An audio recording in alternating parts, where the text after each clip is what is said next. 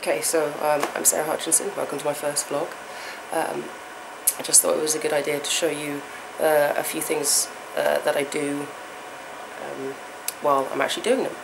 So I'm a freelance camera operator and editor, and I also do other techie stuff. So at the moment, I'm I guess head of head of camera crew for the Sci-Fi Events SF Ball. Three days of rigging cameras, de-rigging cameras, doing vision mixing. I don't do the sound, that's not my domain. Um, and eventually, when I get the footage home, which is upwards of 30 hours worth of footage, I've got to go through that, do a promotional video for next year's ball, and edit all the talks, game shows, um, and other events that happen here to go on the commemorative DVD. So uh, I'll just show you a little bit of the tech that we've got going up here in the vision booth. So what we've got here uh, is my Labyrinth DVD. Uh, not vital, but I got that signed. Perk of the job.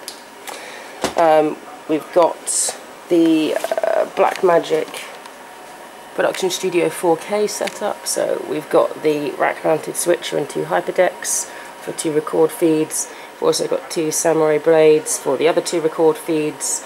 That is uh, essentially camera 1, camera 2, camera 3 and a mix. In theory, I'll just need to top and tail the mix, but just in case something goes wrong, I also get the individual camera feeds.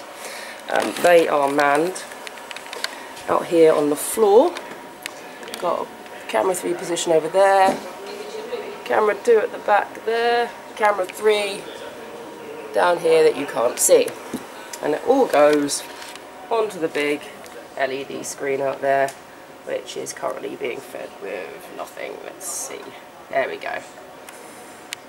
Um, so, 4K Studio, which is controlled here with this um, hardware panel. Mixing mascot, very important for the weekend. And we've got the other part here, which is uh, run from a PC. So you can actually run everything from the PC, but uh, I like I like buttons and faders. But if I wiggle the fader here, you can see it wiggles there as well. Um, yeah, so I'll uh, take some more footage over the weekend hopefully and uh, publish this um, if I can deal with the cringe factor. Okay, so uh, I thought another thing I should show you, I should tell you about this convention. Every Saturday night they have a suited and booted sit-down formal meal with all the punters and all the guests, and it's pretty cool.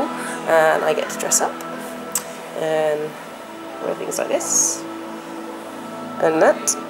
And also,